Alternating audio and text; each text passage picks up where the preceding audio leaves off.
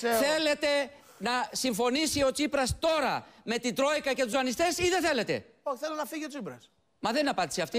Να μην συμφωνήσει και να κάνει εκλογές σας. Α,